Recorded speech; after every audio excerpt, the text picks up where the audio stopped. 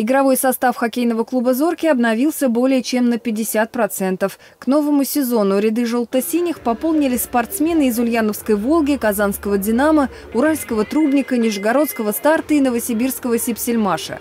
Команда сейчас э, сыгрывается, потому что многие игроки пришли с разных клубов, поэтому надо время, небольшое время для того, чтобы они э, поняли, как мы, тренеры, что мы хотим от них. И, конечно, они сами, ну, они очень амбициозные игроки, я знаю, что они очень хотят э, добиться хороших результатов.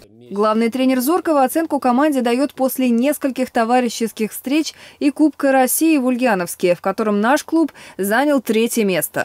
Первую мы выиграли 6-2 у Мурманска. Потом играла игра с командой «Динамо Казань» 3-3 ничью. А, Динамо Москва, следующая игра 6-3. И последняя игра у нас была с Актывкаром, такая напряженная э, игра, последняя 5-5. Но ребята очень достойно выглядели.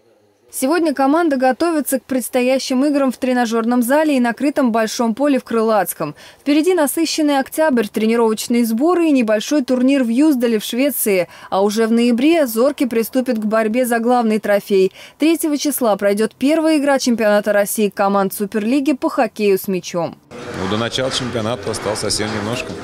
Надеюсь, сейчас сбор Швеции нам очень поможет. Как бы поиграем там на кубке несколько игр. И думаю, то, что к чемпионату будет нормально. Амбиции и дисциплина – то, что нужно игрокам Зоркова в борьбе за первенство страны по бенде, уверен главный тренер. Если серьезных травм удастся избежать, команда сможет составить достойную конкуренцию соперникам.